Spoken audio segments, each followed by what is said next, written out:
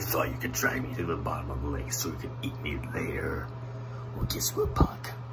I'm a fish. With legs.